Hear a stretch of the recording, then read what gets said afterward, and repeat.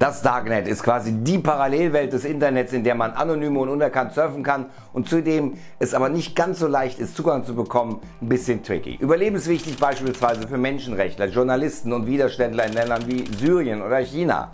Doch im Darknet tummeln sich natürlich auch viele Kriminelle, Hacker oder Drogenhändler beispielsweise. Doch wie genau funktioniert es und wie illegal ist das Darknet tatsächlich? Warum halten es viele für das Vorbild des herkömmlichen Internets, das wir alle täglich nutzen? Ihr habt euch dieses spannende Thema bei WhatsApp gewünscht und bekommt jetzt alle wichtigen Facts. Herzlich willkommen bei Klicks und Science and Fiction.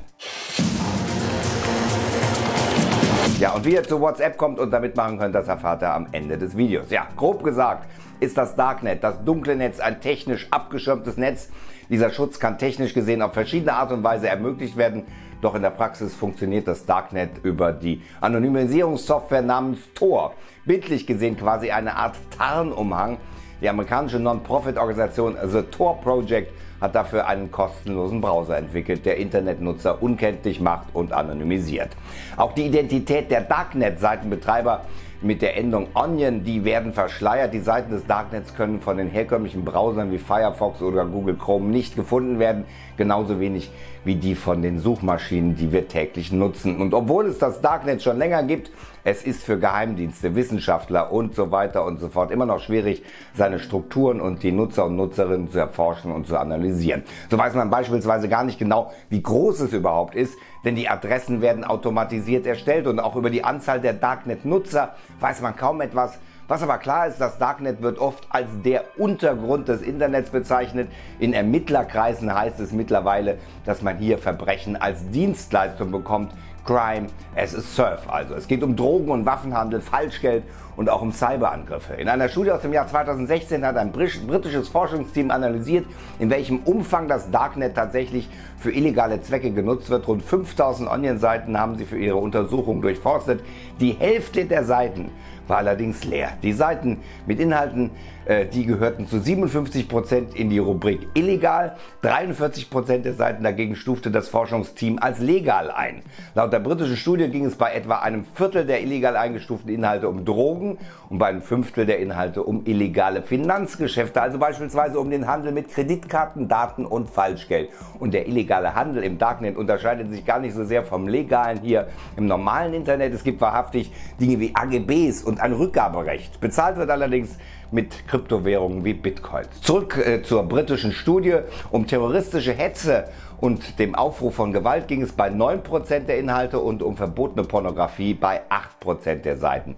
Wie die Studie also zeigt, ist längst nicht alles, was im Darknet zu finden ist, illegal. Und so gibt es auch immer wieder Stimmen, die sich für das Darknet einsetzen und seine positiven Seiten hervorheben. Unter anderem der Chaos Computer Club CCC Deutschlands, der sich beispielsweise 2016 dazu geäußert hat, nach dem Amoklauf in München wurde das Darknet ja von extrem von deutschen Behörden kritisiert, denn der Täter soll sich die Waffe über das Darknet organisiert haben. Dazu der Sprecher des CCC, Linus Neumann. Das Bedrohungsszenario, das von deutschen Behörden gezeichnet wird, ist nicht sehr realistisch.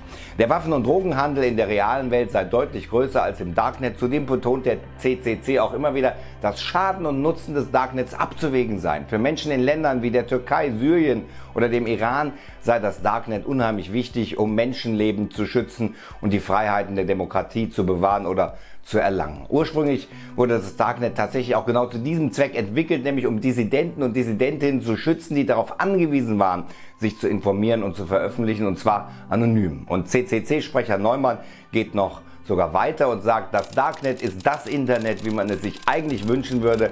Ein Netz ohne Zensur und Überwachung mit all seinen Vor- und Nachteilen. Und jetzt noch kurz zu den legalen Seiten des Darknets, die es ja auch gibt. Da gibt es quasi alles, was ihr euch so vorstellen könnt. Blogs über Politik, Katzen, Technik, Nerdkram und eine Menge Tutorials. Außerdem gibt es anonyme Messenger und auch Dateitauschdienste. Seit 2014 hat auch Facebook eine Darknet-Präsenz.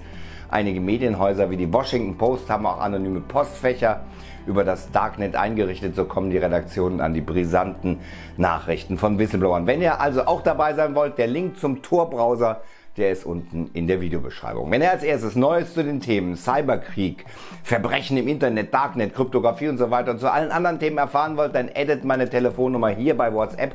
Dann erfahrt ihr von mir vor allen anderen vom neuesten Video und zwar täglich garantiert.